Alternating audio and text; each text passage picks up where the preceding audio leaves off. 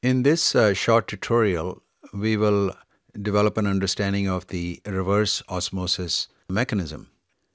In a uh, previous tutorial on osmosis, you will recall that we had a a U-shaped apparatus and uh, on one side we had sugar molecules in water we have a semi-permeable membrane and then on the left hand side we have water note that sugar molecules cannot pass through the membrane because the size of the sugar molecules is larger than the pore space of the membrane so, due to osmosis, pure water flows to the right hand column, and that height of the column will increase.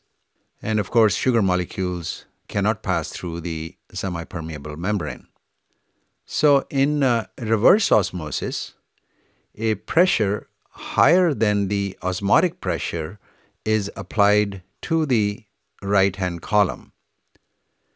This will cause pure water to flow through the membrane to the left hand column.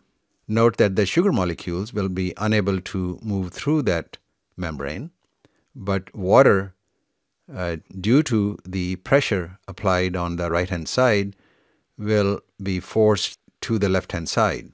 And as a result, the sugar concentration in the right hand column will increase and this will be due to reverse osmosis. So, as we see in this process, we are applying pressure to realize reverse osmosis and concentrate the solution in the right hand column.